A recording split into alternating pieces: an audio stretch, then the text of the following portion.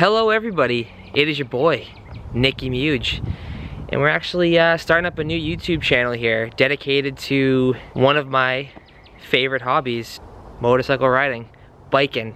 Um, my goal is to just make vlogs throughout the season, kind of just go over my bike. So today's video I want to just go over my bike, let everybody know kind of what I've done to it, actually what bike I have, what I've done to it, the different mods, new channel. Not sure what I'm gonna call it yet either. So if you have any suggestions, put it down below in the in the comment section there. So let's just get into the bike and we'll go over and, and I'll, I'll tell you what it is and when I got it, what I've done to it.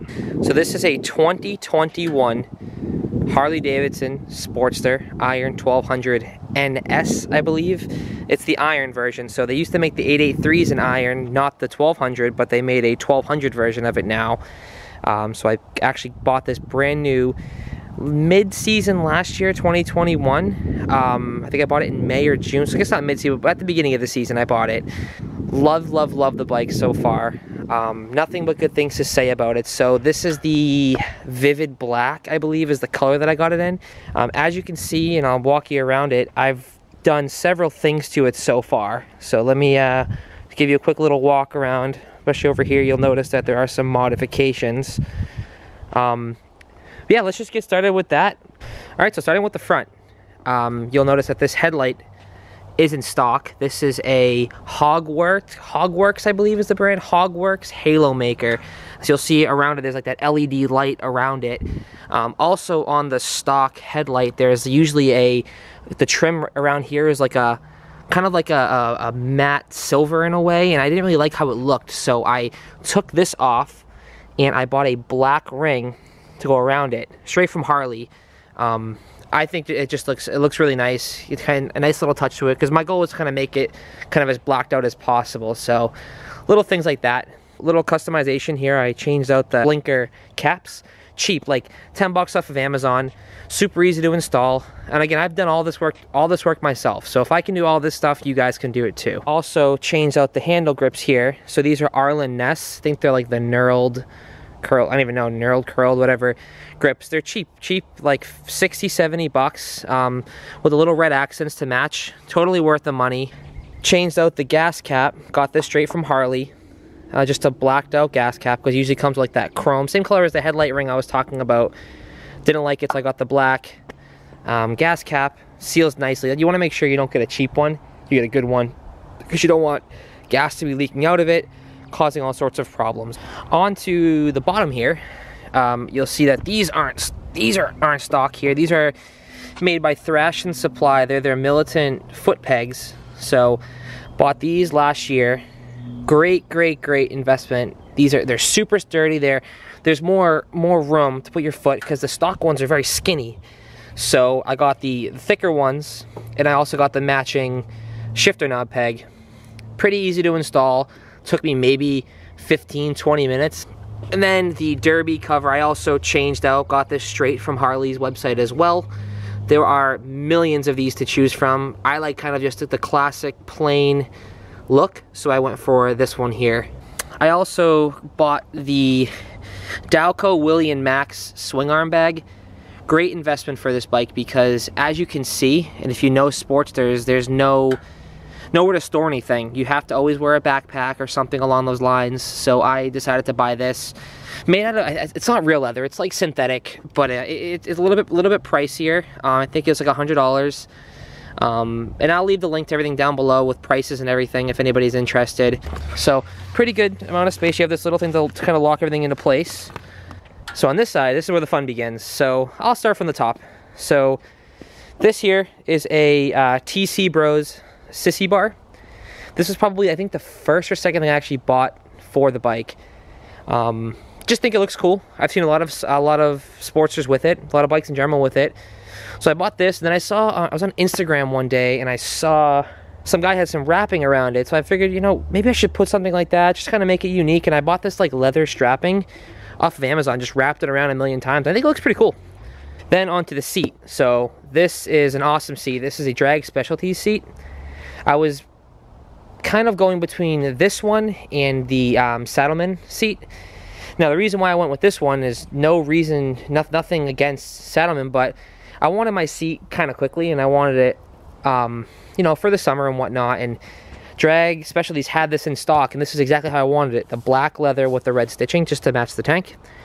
And Saddlemen was going to make that for me, but it was all custom and they were out of stock and they weren't going to be ready for probably a couple months. That would be like mid-season at that point. So I figured, know, it's probably very similar. So purchased this one, came within a week, and I put it on. And I've been loving it ever since. Very comfortable. Um, definitely get something to get used to. It's a little bit harder than the stock seat, but um, I'm a shorter guy, and the seat's a little bit thinner. So it's it's just it sits. I sit a little bit better on it now that I have this seat. So I'm very happy with it. On to the exhaust system. So this here is a Vance and Hines short shots staggered exhaust system. Got it in the black. They sell it in black and chrome. I believe chrome is the other option. I wanted to go black though, so I did that. So putting these on, you also want to make sure that you change out the exhaust port gaskets. So I bought some Hines gaskets, threw those in as well. Um, took me a couple hours to actually complete the project there. Um, again, I'm not a mechanic. Uh, this is my first time actually working on bike, on my bike, my own specific bike, and I've had a bike for years before this and never really touched it. So this is the first time I'm actually doing the work myself. So, like I said, if I can do it, you can do it. A little bit of YouTube. Make sure you have the right tools. Obviously, had to spend some money on some tools, but now I have them. Um, totally worth it. Totally worth it. And then I also put this on. This is an Arlen Ness Big Sucker Stage 1. It's a Stage 1. Uh, it sounds really cool, looks really cool. Um, pr pretty easy to install. Took me maybe 15, 20 minutes to, to put on there. Be careful though when tightening up the, the, the nuts in here because you can over tighten and strip and I made that mistake. I made that mistake, so we had to fix it. But um, all in all, I think these mods are awesome. And along with these two parts right here, you always want to make sure that you tune your bike. So I went and I bought a Vance & Hines Fuelpak FP3 auto tuner.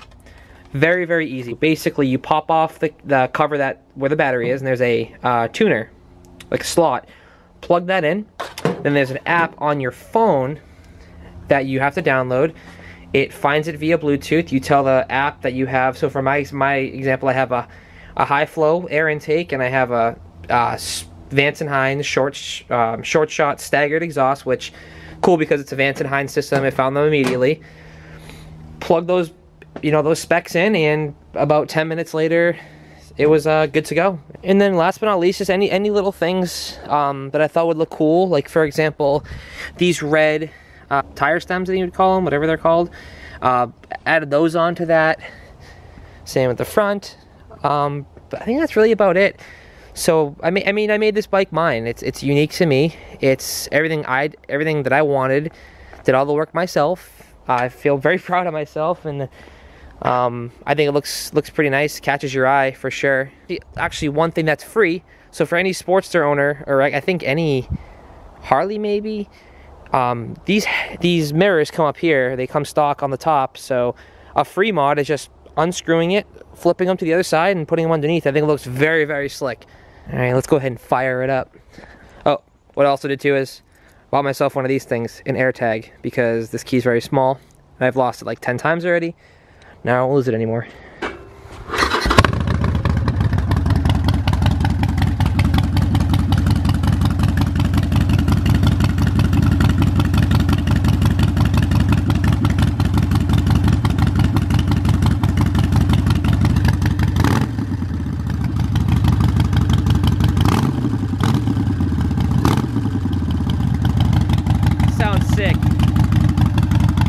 I love how you can hear the air intake now. When you, when you really when you rev it, you can hear it kind of sucking in the air. It sounds super cool.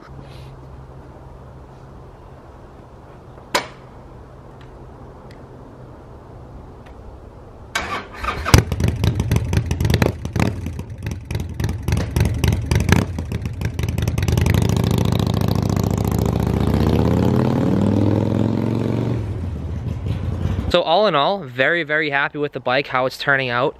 Um, don't know what else I want to do to it. I think I'm good to go now. I think I've done everything that I wanted to do to it. So yeah, if you have any suggestions, any other Sportster owners, any other motorcycle owners out there, if you have any suggestions for me, anything else cool that I can do to it that's easy, um, by all means, throw it down in the comment section. Uh, also, if you have any questions on anything that I've done, please feel free to reach out to me through the comment section. Be more than happy to, to help you out. Um, I've said this a million times, but I am no motorcycle mechanic, and I was able to get all this all this done correctly myself with a little bit of help and a little bit of YouTube. I was able to take care of that. Um, so you learn a lot. And it's a lot of fun, and it's it's my bike. I've done all the work to it. So we'll we'll uh, take you from there. Thanks for tuning in. See you later.